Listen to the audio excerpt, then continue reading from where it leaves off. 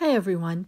Today I'm going to do a quick overview and test of my NR 950 Pudibei radiation monitor. When I first decided I wanted to buy a radiation monitor or Geiger counter, I didn't realize how confusing everything would be. Some were very expensive, some had to be calibrated, some were for high levels of radiation, some would measure lower levels of radiation. I didn't really know where to start. I watched a video by Survival Lilly where she compared several lower cost radiation monitors. And this was one of them that seemed to be better than a couple of the other ones she was looking at. I also thought about the main purpose I wanted to have a radiation monitor.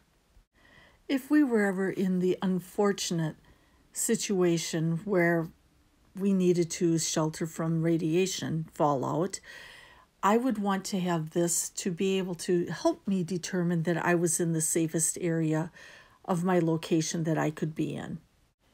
Ease of use and cost were also considerations.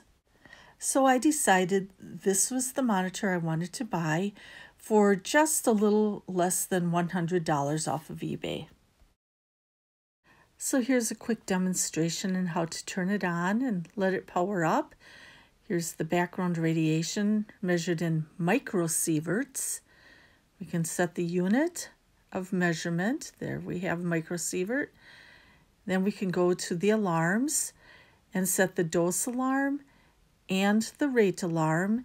And this is basically where you would want the, the alarm to ring or go off if there were radiation levels present.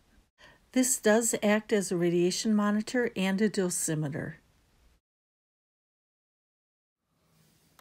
Now on to the test. I happen to have an old vintage clock I picked up at an estate sale a while ago and let's see if it has any radiation.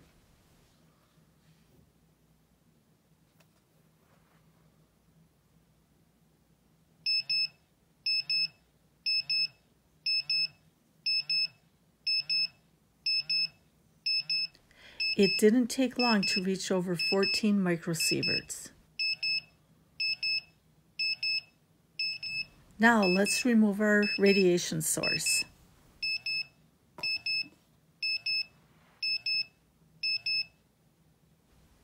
As soon as the radiation source was removed, it went back to normal very quickly. I am no expert at all of this, but I am glad that I finally made a purchase so I can learn more and decide how far I want to take this. I hope this helps. Thanks for watching and have a great day.